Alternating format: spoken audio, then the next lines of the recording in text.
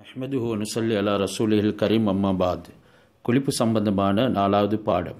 முதலில் தண்ணீரை எங்களுக்கு சுத்தம் செய்யும் ஒரு கருவியாக சுத்தம் செய்கிறதுக்கு ஏதுவாக அல்லாஹ் ஆக்கி தந்தமைக்கு அவனுக்கு நன்றி செலுத்த வேண்டும்.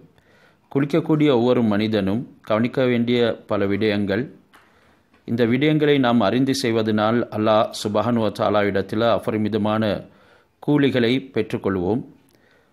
ஹஜரத் சசூலுல்லாஹி ஸல்லல்லாஹு அலைஹி வசல்லம் அவர்கள் குளிக்கும் பொழுது மிகவும் கொஞ்சமான நீரைத்தான் பயன்படுத்தியிருக்கிறார்கள்.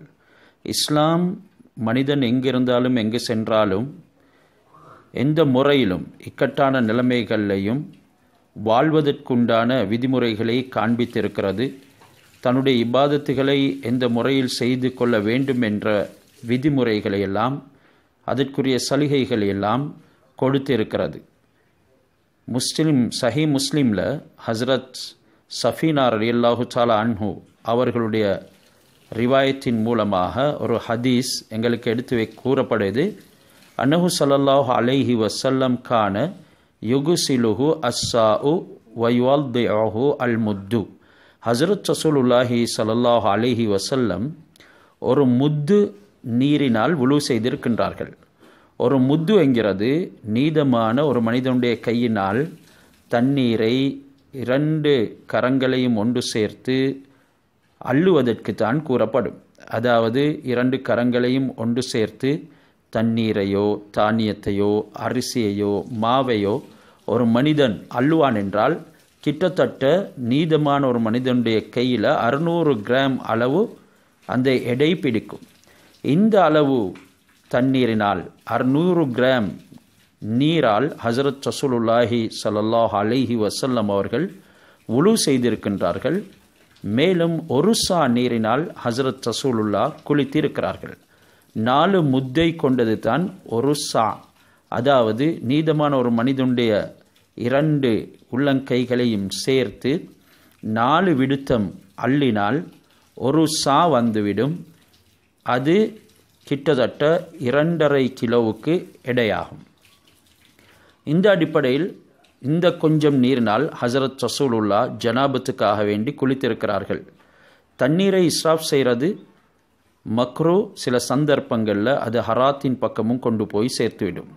இஸ்ராஃப் என்ற வீண் விரயம் யார் செய்கிறாங்களோ அவங்களுடைய வாழ்க்கையில் வறுமை உண்டாகும். அதனை நாங்கள் பயந்து கொள்ள வேண்டும். ஏழு கடல் நீர் இருந்தாலும் கூட சீரான முறையில் நீயத்தை வைத்து குளிக்கவில்லை என்றால் அவருடைய குளிப்பு கடமையாக மாட் அதாவது நிறைவேற மாட்டாது. கடமையான இபாத்துகளுக்கு தகுதியான குளிப்பாக அது ஆகவும் மாட்டாது. நாங்கள் குளிக்கிற விடயத்தில் இரண்டு வாஜிபாத்துகளை பற்றி அறிந்திருக்க வேண்டும். குளிப்புக்கு இரண்டு வாஜிபாத்துகள் தான் இருக்கின்றது. அதாவது முக்கியமான நிறைவேறப்பட வேண்டிய கடமைகள் அதில் ஒன்று குளிக்கிற ஆரம்ப நேரத்தில் நாங்கள் உடம்புலையோ தலையிலையோ தண்ணீரை ஊற்றக்கூடிய நேரத்தில் நியத்து வைத்து கொள்ள வேண்டும். அடுத்தது தண்ணீரினால் முழு உடம்பையும் அடைய வளைக்க வேண்டும். இதுதான் அந்த ரெண்டு வாஜிபாத்துகளும் ஃபர்லுகளும் என்று கூறப்படுது. சுண்ணத்துகளோட எப்படி நாங்கள் குளிப்பை நிறைவேற்றது என்ற நடைமுறையில் இந்த குளிப்பின் உடைய விதிமுறைகளை நாங்கள் பார்ப்போம். அதில் ஹசரத் ரசூலுல்லாஹி சல்லல்லாஹ் அலஹி வசல்லம் குளிக்கும் பொழுது பிஸ்மிலை கொண்டு ஆரம்பிப்பார்கள். பிஸ்மில்லா என்று சொல்லிக்கொள்ளலாம் அல்லது பிஸ்மில்லாஹி ரஹ்மான் ரஹீம் என்று கூறலாம். பிஸ்மில்லாஹி ரஹ்மான் ரஹீம் என்று கூறக்கூடியவர் ஜனாபத்துடையவராக இருந்தார். அதன் மூலமாக கொரானுடைய ஆயத்தை நியத்து வைக்கக்கூடாது. பொதுவாக அவர் ஒரு ஜிக்கராக அதனை நினைத்து அவர் பிஸ்மையை கொண்டு ஆரம்பிப்பார். பிறகு இசாலத்து கதர் உடம்புல ஊத்தைகள் இருந்தால் அதனை நீக்கிக் கொள்வார்.